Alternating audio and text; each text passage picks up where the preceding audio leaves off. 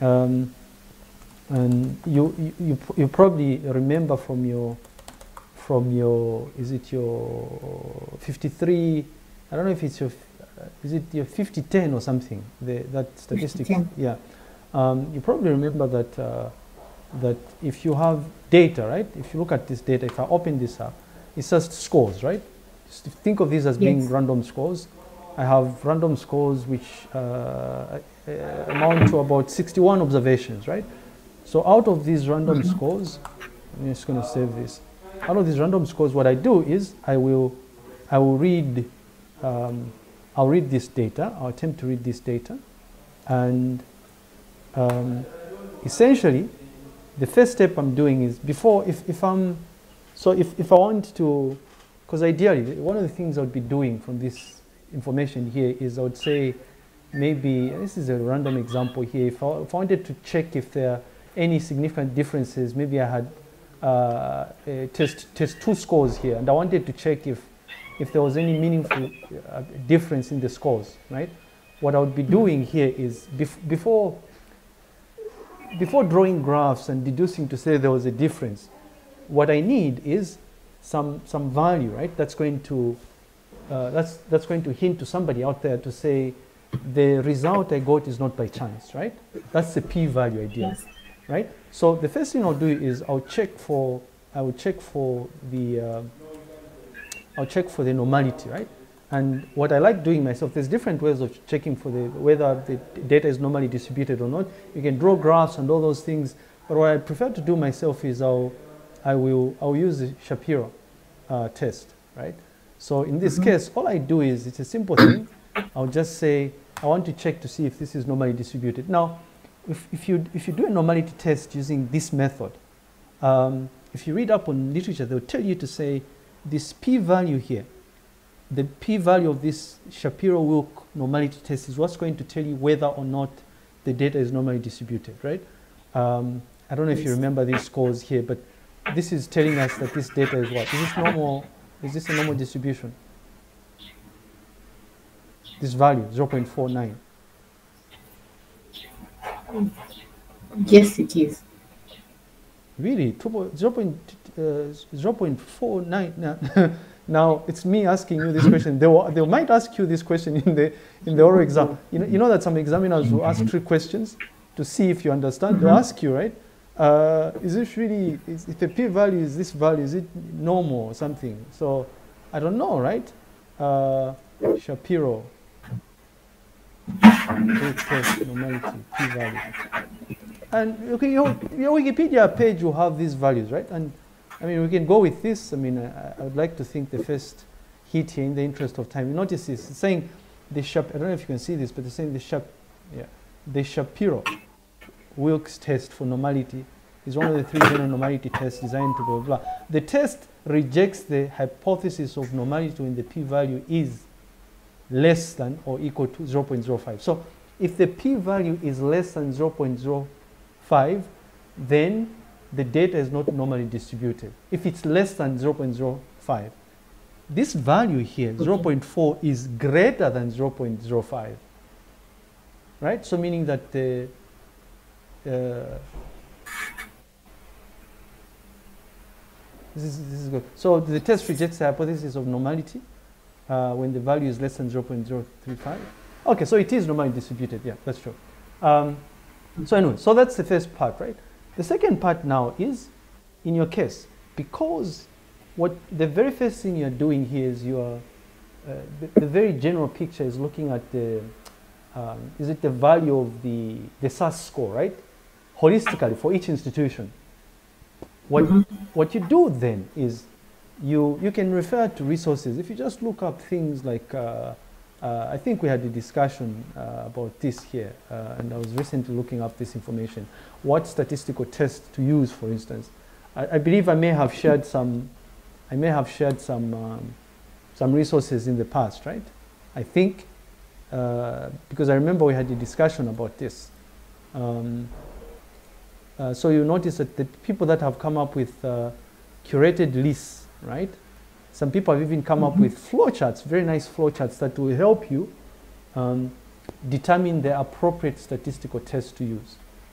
right? So if we open up one of these things, um, uh, not very helpful here, but uh, choosing the correct statistical test. All right, so if, if, you, if, you look at, if you look at all these different factors that you take into account, right? Um, Yes. what they're telling us here is uh, uh, the statistical test that you're going to perform, if let's say the number of dependent variables is one, but you have no independent variables, um, these are the different options that you have. Right? Now, it turns out that the different options that you have um, are also linked to the data type of the dependent variables, right? If you look at this. So your, your current data, like if you look at the SUS scores, let's say for UNZA, for instance, this, the SUS scores that you have, what, what, what sort of, uh, what, what values are we talking about here? Or, or when, you're, Um, when you're discussing the SUS scores, let's say for UNZA, it's the dependent variable is just one. It's a SUS score, right? Is it? Yes. Okay, um, that's the first part. The SUS score, within what range do they fall under? What is that value? Does it fall, is, it a range? Are they discrete values? Are they categorical values? They range from 0 up to 100, is it somewhere there? Yes. Yes. All right, so it's an interval, right? Or it's a, it's, a, it's, a, normal value, right? So, so the first thing is you have one dependent variable, which is the SUS score. There are no independent variables because you're just looking at the, the overall picture of the SUS scores. Be- Before you Yes. interpret them using those, uh, uh, there are people that have written about the, the classification of the SUS scores depending on which, which band they fall under, right? So if we are saying that you have one dependent variable and no independent variable, and the data is uh, interval, um, then you notice here, right, that uh, it's likely that we'll have to settle for, and maybe this is not even, um, this is not very helpful here, but you notice that you'd probably find yourself performing one sample t-test. Is it? Do you understand this? Yes. I'm The method that you had suggested, I'm going to scroll down to the method that you had suggested here, the Kruskal-Wallis, right, method. Uh-huh. You see what it's saying here? You use this method if, if you have one independent variable. What is this?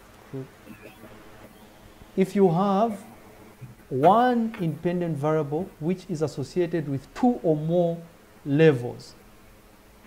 I don't know if this makes sense here. Also, right? Two levels meaning independent groups Yes. or independent variables. Yes, so so so here's the thing. Like let's say you Aha, this is a wonderful example. Let's say so let's say you have UNZA scores, right? We have uh, UNZA scores. Uh, this is UNZA, right? And your data is such that you have uh, student one.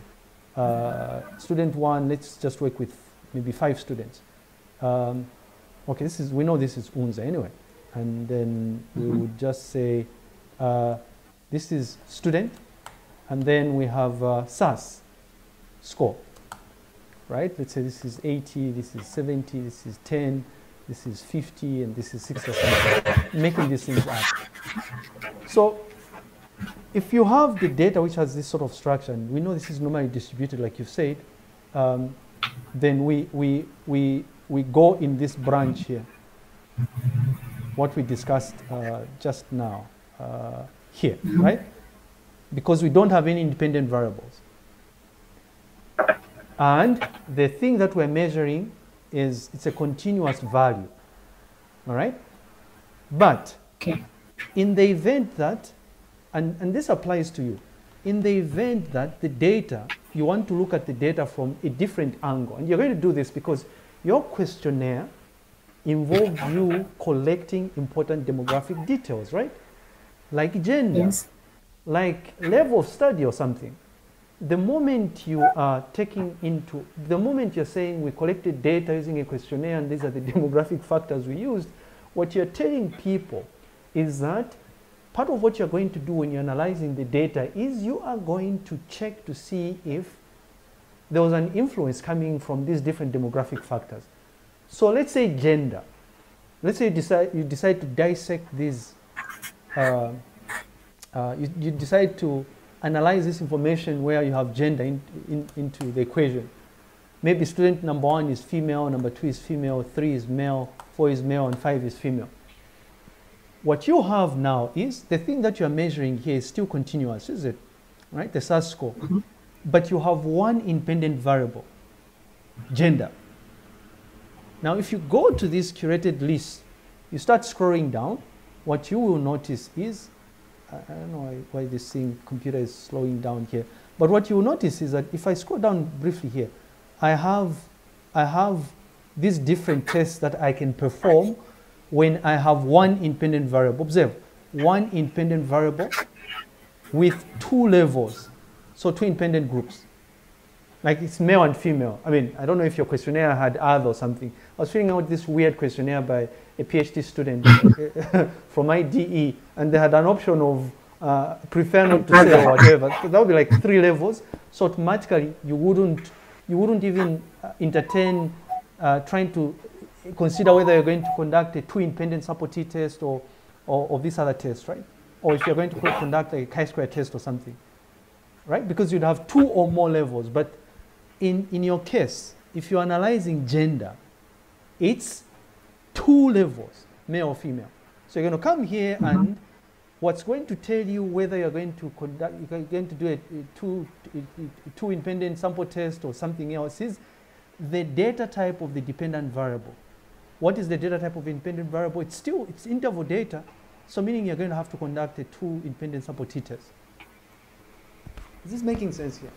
Now, Yes, what you did, right? Maybe in, um, I'm trying to see here, maybe in, uh, let's say, let's, let's just assume you, I, I don't know if you did this, but assuming, assuming part of what you did was you collected the highest level of qualification, right? Highest Mhm. or, or qualification, let's just assume qualification. Qualification will have things like PhD, masters, bachelor's, right? Uh, Yes. I'll put bachelor's again. Well, let's say in pen, maybe diploma and maybe certificate as well. And it's just an example. If you notice here, the levels are one, two, three, four, five, right? Because we're working with 5 levels. What this means is that this, this test that we, we, we said would use for trying to determine what sort of influence gender has, determining whether uh, gender has an impact on the results, essentially, is what you're saying. Because when you're explaining your results, you'd have to speak to the, uh, to the demographic factors, right? So, in this case, you'd come here, down where it's saying um, uh, one independent variable, which is qualification, but the levels is two or more levels. These are independent groups, two or more levels. Yeah? Because it's two or more levels here, we, and, and the dependent variable is still continuous, then what we're saying is that we're going to still settle for a method which is associated with interval and normal, right? So it will be a one-way ANOVA test, is what you're, uh, that's the test you're performing. Now, now long story short, what we are saying is that you are not just going to conduct a single statistical test because you are analyzing your data from so many different angles.